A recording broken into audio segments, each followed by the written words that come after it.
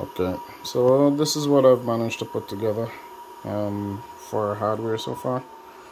As you can see we have uh, a keypad here that we can use to uh, change the settings. The fans are under there two small fans but wasn't powerful enough so we got the other one to give it a kick. And uh, up here is the OLED display.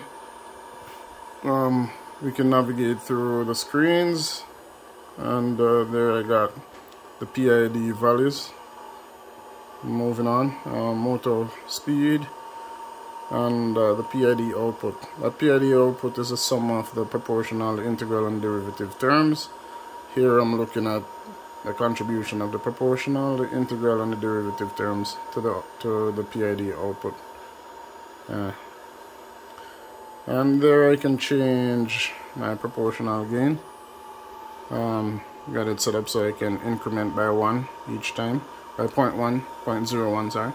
And I can dec decrement by 0.01 got another screen also for changing KI and KD those are written in EEPROM so they're saved for the next startup.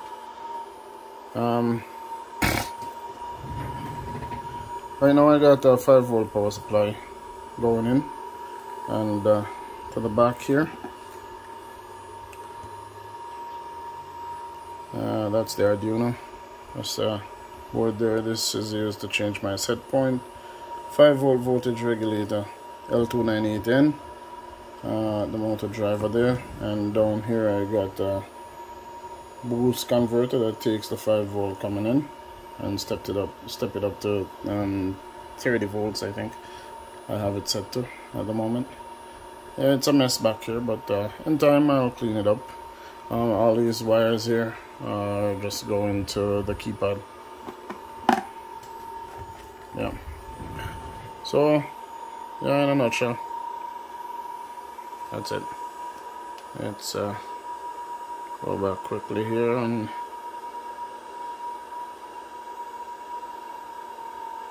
there you go